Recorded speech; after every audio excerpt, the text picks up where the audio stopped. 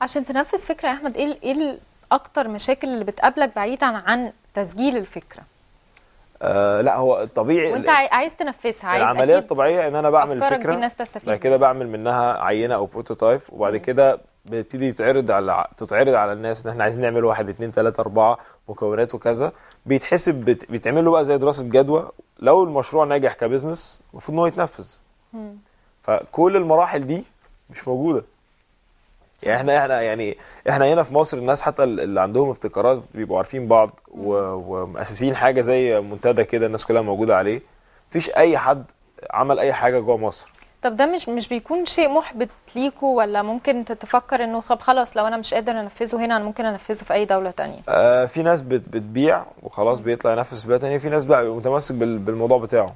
يعني لا أنا مش هعمله غير لما أعمله هنا بالطريقة بتاعتي. حتى لو هعمله بفلوسي في يوم من الأيام يعني.